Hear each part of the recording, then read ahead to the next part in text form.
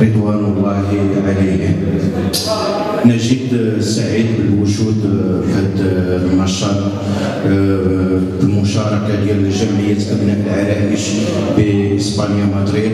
وكنشكر كل الداعمين وكنشكر كل الضيوف وكل الجاليه آه، اللي هم سفراء آه، وما مشيتش